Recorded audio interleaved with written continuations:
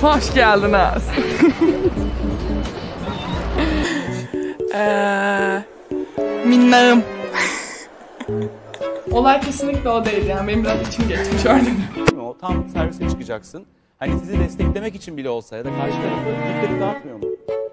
Ya aslında çoğu zaman duymuyoruz. benim dağılmıyor. Servise atan da benim. Senin niye dağılıyor? Karşılarken hayır işte.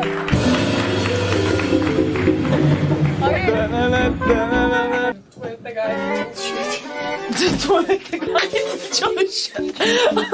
Bana bir peynirli simit alır mısın? Beleş mal baldan tatlı Antrenör bana iyi bir şey demiş. Ben de sana sesi Bildiğim yalanları dinler.